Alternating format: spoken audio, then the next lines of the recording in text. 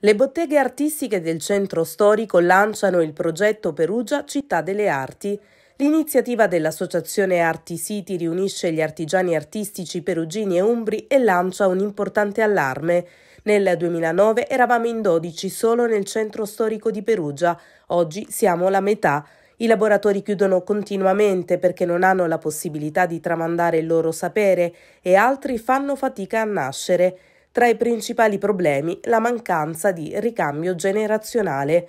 La nostra regione, sottolinea Maria Antonietta Tatichi, artigiana e presidente dell'Associazione Perugina Arti City, botteghe artigiane del centro storico, ha un asso nella manica da poter giocare, l'artigiano artistico di qualità, se lo giocasse, dice, ne trarrebbe grandi benefici e Perugia, che ospita anche un'importante istituzione quale l'Accademia di Belle Arti, potrebbe diventare una vera e propria città delle arti che mette in mostra tutte le forme di artigianato umbro, con l'obiettivo di delineare strategie per il futuro, soci, esperti del settore, organizzazioni di categoria, istituzioni locali e regionali si sono quindi riuniti per discutere delle criticità che caratterizzano il comparto Parliamo di un artigianato che nel suo prodotto finale realizza vere e proprie opere d'arte, ha premesso Fioroni, assessore allo sviluppo economico dell'Umbria.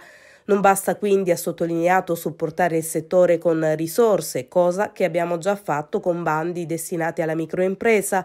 È necessario, dice, promuovere la cultura del prodotto artistico, portare nuovi giovani a vedere nell'artigianato artistico un possibile lavoro gratificante, emozionante e soddisfacente questa è la sfida, conclude. In questo contesto Arti City si è portata avanti e ha già dato vita a progetti per l'attivazione di work experience in laboratori e botteghe scuole.